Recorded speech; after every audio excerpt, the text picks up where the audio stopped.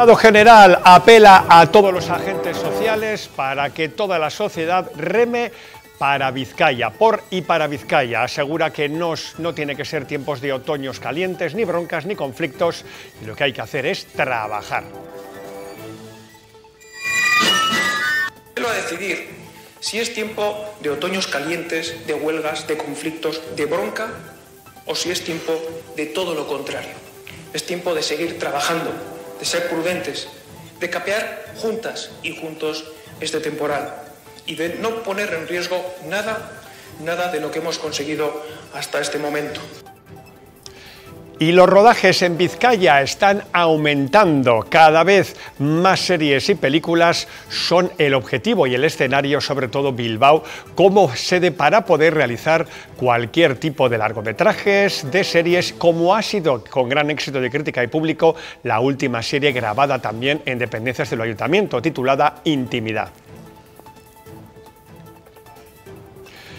Y así es como comenzaron las paellas de Aiserrota, con todas su sede oficial, así como también la fiesta paralela, el llamado Bronx, donde muchísimos, una buena multitud de jóvenes se agolpan para poder seguir disfrutando. Y así es como terminaron, con bastante orden en la zona oficial, pero con bastante basura acumulada, desorden y muchos desechos, como se pueden apreciar en estas imágenes. Y el Athletic ha vuelto otra vez a entrenar a El Lezama. Tras su exitoso stage en Alemania, ya han comenzado los de Valverde a trabajar. Aunque Íñigo Martínez ha trabajado aparte, el Athletic sigue conversando con el jugador para tratar de retenerle y que no se vaya al Barcelona. Son algunos de los temas que hemos eh, seleccionado para hoy. Gracias por la atención y comenzamos.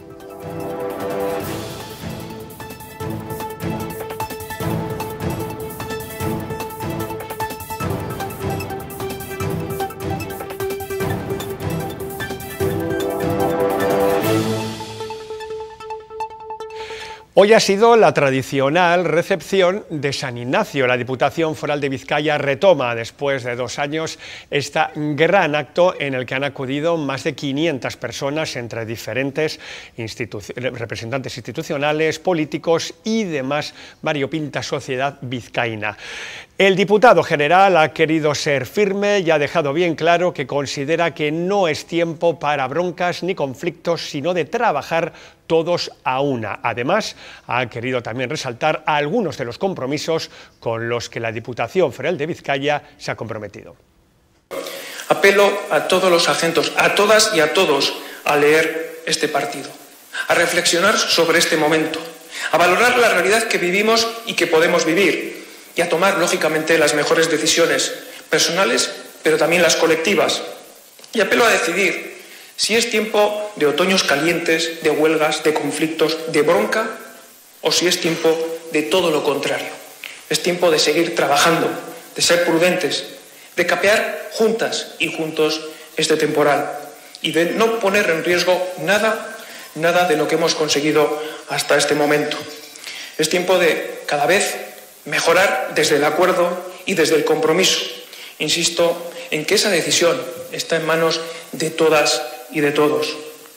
Como los primeros 40 millones que esta Diputación destina al Guggenheim Guernica, Guggenheim Urdaibai, proyecto con el que también se compromete el Gobierno central a través de los fondos europeos, compromiso que se articulará en un protocolo firmado por la vicepresidenta Teresa Rivera. Como la apuesta decidida por construir un túnel en Soyube que facilite la conexión rápida y cómoda de la metrópoli con Urdaibai. 65 millones de euros de inversión. Como la iniciada ya cobertura de la avanzada, como conocéis, en Leyoa. Como la variante de Guernica, dando también un paso al frente para su ejecución. Como la transformación del sistema de cuidados, incrementando todavía más la inversión prevista para acelerar la conversión de las residencias en unidades convivenciales lo más parecidas a un hogar, a una familia creando nuevos centros de referencia comarcales públicos. Más, como la compra de pisos para ayudar a personas con problemas, para que mejoren en sus proyectos de autonomía personal, o como la apuesta por la eficiencia energética, la cultura, el primer sector, proyectos que quedan totalmente garantizados por estos remanentes y por esta gestión económica. La tradicional recepción de San Ignacio en el Palacio Foral ha vuelto a convertirse en punto de partida para el futuro más cercano de Vizcaya y sus gentes, también como espacio para repasar este último curso político, económico, social y cultural aquejado todavía por la pandemia, pero sobre todo para compartir lo que está por venir, al menos o planeado y puesto en papel, porque Vizcaya no vive ajena a los vaivenes mundiales, como ha quedado demostrado con la crisis energética y la invasión de Ucrania. De momento, hoy mismo se pasaba el último trámite burocrático a manos de la Diputación Foral para desplegar esos servicios de metro hasta Galdacao y el hospital de Usán Solo. Como han oído, el propio Unai Rementería ha confirmado una primera dote de 40 millones de euros para empezar a revestir el Guggenheim Guernica, un proyecto que espera contribuir a la revitalización social y económica de la comarca.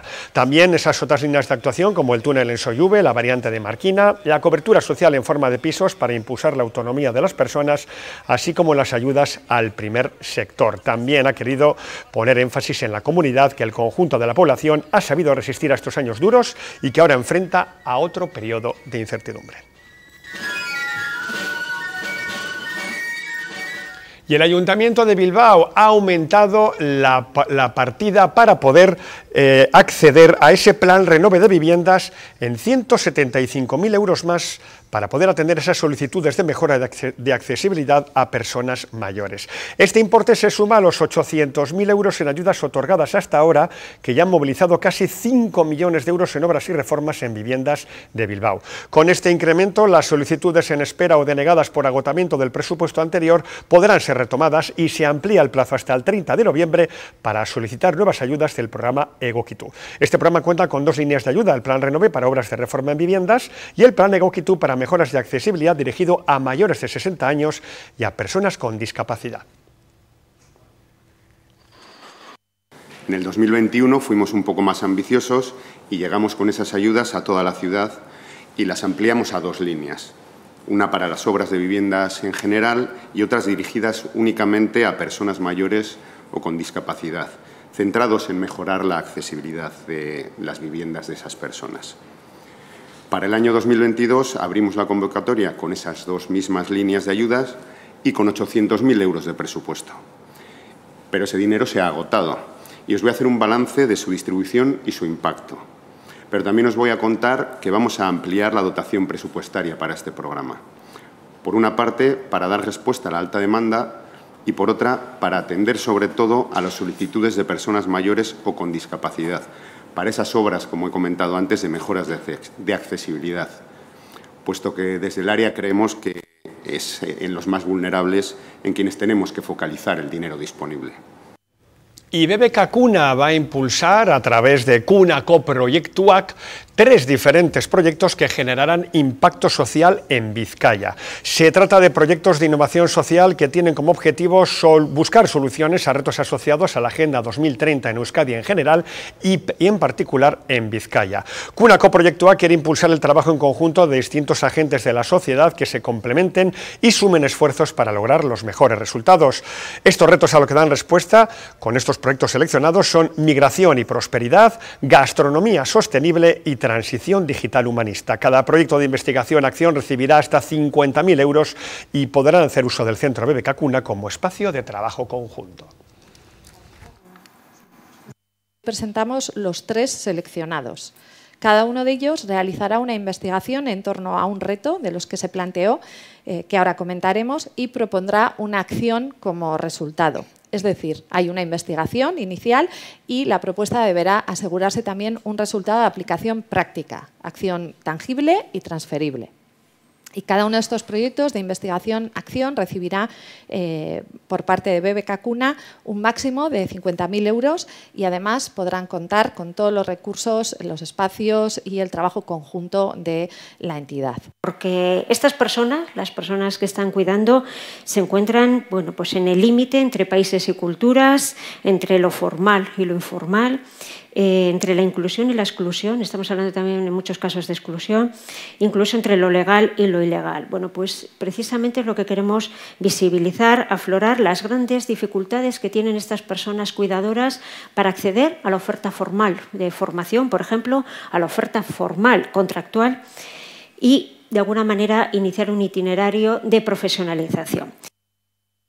Y el conductor eh, de ese coche que atropelló a una joven este fin de semana en Bolueta ha sido puesto en libertad provisional este mismo lunes, este conductor había dado positivo en drogas, se ha quedado en libertad, en libertad imputado por un delito contra la seguridad vial.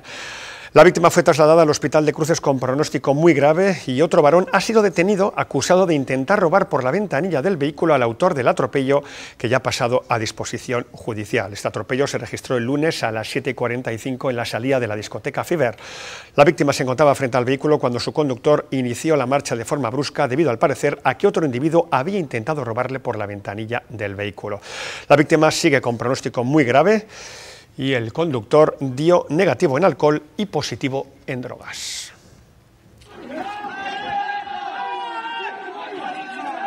Y les enseñamos ahora una imagen muy significativa de cómo se desarrolló todo el ambiente festivo en esta tradicional fiesta de las paellas de Aiserrota. Como pueden ver en estas imágenes tomadas a través de un dron, el denominado Bronx, toda esa zona en la que se pueden ver como si fuera una especie de Far West con muchas maderas delimitando el contorno, fue esa, esa parte que por desgracia se convirtió en, en un gran basurero. Aquí es como vemos al día siguiente cómo estuvo toda esa zona oficial y ahora cuando gira la cámara podemos ver toda esa zona con todas esas maderas totalmente acumuladas. Son muchos los vecinos que piden que haya mayor revisión, sobre todo en los residuos y en cómo se deja toda esa zona, ya que muchos jóvenes y muchas personas mayores disfrutan de las fiestas, sí, pero también quieren seguir disfrutando de este entorno verde y natural durante el resto del año. Se asegura que con toda esta degeneración lo que se está consiguiendo es degradar cada vez más la zona y se, se imposibilita por completo recuperar la hierba. Hablamos ahora de rodajes porque Bilbao es un centro cada vez más acumulativo de cámaras, personas dedicadas al sonido y sobre todo series y televisión. Hoy, esta mañana, hemos podido ver una vez más los escenarios donde se rodó la serie Intimidad, una serie en la que habla como una concejala es objetivo de chantaje por parte de una persona que ha cogido un vídeo de contenido sexual. El Ayuntamiento de Bilbao fue, eh, además ese escenario de esa serie Intimidad y ha relanzado una vez más a Bilbao como plató de cine, porque según las expectativas cada vez hay más peticiones de rodaje en nuestras villas. Hace poco el famoso actor y rapero Aaron Piper también estuvo rodando escenas de una serie que promete dar una auténtica camparada en cuanto a intriga se refiere. Sí, pues bueno, efectivamente intimidad, seguramente por el impacto tan descomunal que está teniendo, ha vuelto a poner a, Bilbao ¿no? en la cabeza de una ciudad y Vizcaya un territorio atractivo para atraer rodajes y estamos hoy en la casa consistorial, ¿no? esta casa que solemos decir tantas veces que es la casa de todos y todas los bilbaínos y bilbaínas y bueno, quizás a través de intimidad también se ha podido visibilizar desde el principio cuando nos propusieron rodar, lo que decidimos ¿no? fue puertas abiertas, hay que facilitar a la producción, hay que facilitar a la edición rodaje, actrices, actores, y bueno, pues efectivamente ha sido casi como un spot, un gran spot, ¿no? una campaña magnífica de la ciudad y, y del ayuntamiento. ¿no? Estamos ahora mismo digamos, en lo que puede ser la planta noble del ayuntamiento de Bilbao, esta tercera planta, eh, con pasillos eh, por los que discurre una parte, diríamos, del metraje de intimidad, eh, aquel pasillo con el despacho del alcalde al fondo. Digamos que en este espacio central tenemos el Salón Árabe, que sale en varias ocasiones a lo largo de diferentes capítulos de la serie. Además es un salón realmente muy, muy especial, muy singular, con una arquitectura, diríamos, con inspiración árabe, que quizás mucha gente de la ciudad no ha visto. ¿Eh? en aquel otro lado, en aquel pasillo, la puerta que vemos más allá es la puerta del salón de plenos, ¿eh? donde también se desarrolla algún minuto de metraje.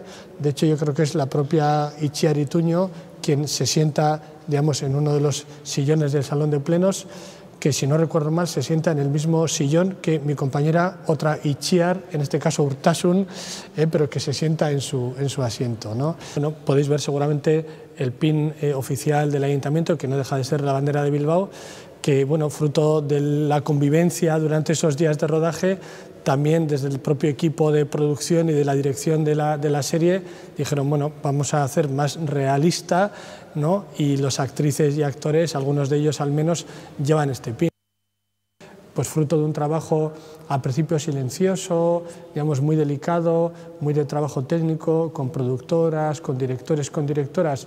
Hemos conseguido en los últimos años posicionar Bilbao y Vizcaya como una ciudad y un territorio atractivos para los rodajes y en los últimos años lo que hemos visto es un crecimiento exponencial. ¿no? El año 2019 fueron más de 500 días de rodaje, eso quiere decir que hay algunos días al año donde hay más de un rodaje al mismo tiempo y se va solapando el año 2020 fue un año complejo y duro, pero el año 2021 ya se vio que había una incipiente recuperación y este año 2022 realmente estaba funcionando muy muy bien.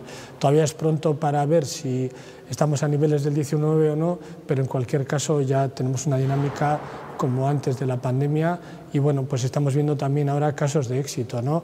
Lo estamos viviendo con intimidad, pero bueno, ya en septiembre vamos a tener la oportunidad de acoger el gran estreno de La vida padre con Carra Lejalde y yo creo que también en septiembre pues la gente va a tener la oportunidad de ver otra película pues bueno, en la que Bilbao juega un rol importante, ¿no?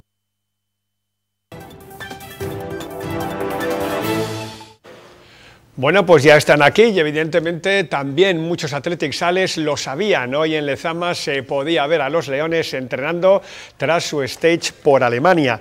Eso sí, el Athletic evidentemente sigue todavía eh, viendo cómo el Barcelona tiene interés por el central Íñigo Martínez, que esta mañana se ejercitaba aparte. Ni Ernesto Valverde ni John Uriarte, respectivamente, se plantean prescindir del defensa. Su gran objetivo es convencer al jugador de que prolongue su contrato que expira en el 2023. La operación blindaje ya está en marcha y la directiva que encabeza Uriarte piensa presentar batalla y está dispuesta a seducir a Íñigo Martínez con una oferta económicamente a la altura de las circunstancias. Un mes después de haber aterrizado en el Palacio de Ibaigane, tras imponerse en las elecciones, el nuevo presidente no se plantea desprenderse del buque insignia de la plantilla.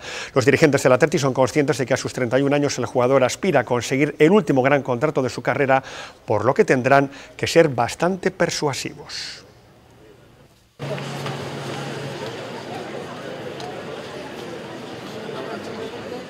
Y vamos ahora con lo que es la nueva, nuevísima eh, incorporación para el Bilbao Basket. Se trata de este jugador que están a punto de ver. El internacional sueco Delsel Andersson es la nueva, nueva incorporación. Este hombre de 25 años ha firmado con el Bilbao Basket y el jugador llega procedente del Arch BM Stal Wielpolski polaco, un conjunto con el que consiguió ganar la liga y el subcampeonato de la FIBA Europe Cup en la temporada 2021. Ha promediado 8,5 puntos, 3,5 rebotes y 1,2 tapones por encuentro en la Basketball Champions League. Denzel Anderson es además uno de los fijos en las convocatorias de la selección absoluta de Suecia. En los clasificatorios para el Mundial del 2023 ha promediado 11,3 puntos y 2,3 rebotes.